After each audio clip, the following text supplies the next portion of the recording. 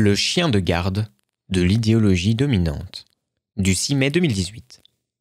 Qu'il se dise rebelle ou non, il a été programmé pour que son système perceptif reconnaisse A comme étant bon et donc rassurant. Si l'input est A, alors tout va bien. On continue à agir sans penser.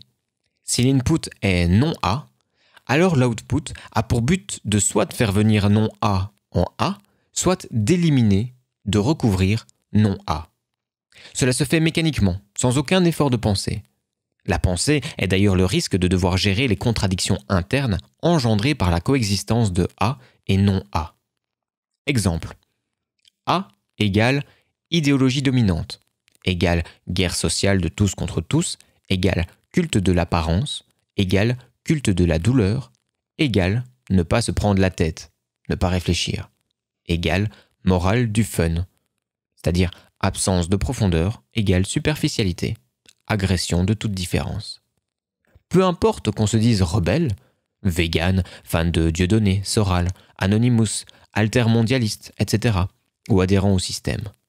C'est de notre comportement envers ce qui nous dérange que peut être tirée notre réelle configuration mentale et morale.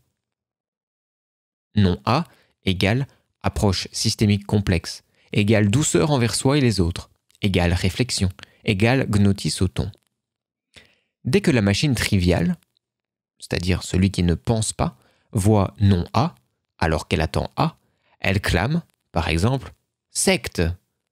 Une fois ce jet d'urine lancé sur non A, l'individu est tout fier de lui et ne va pas plus loin. Il a aboyé un mot passe-partout valable pour toute forme de non A. Il est content.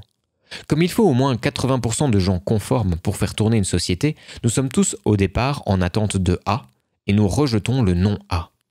Seule la complexification de la zone orbitofrontale, par la culture, peut permettre l'élargissement du point de vue et l'acceptation de la coexistence de A et non A, avec synthèse, conclusion, suite à analyse critique.